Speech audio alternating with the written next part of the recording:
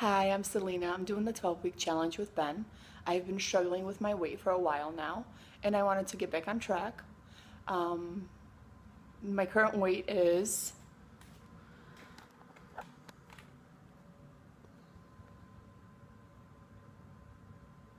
one ninety seven point eight, and I'm hoping it's gonna be down a lot soon. So good luck to everybody, and see you all soon.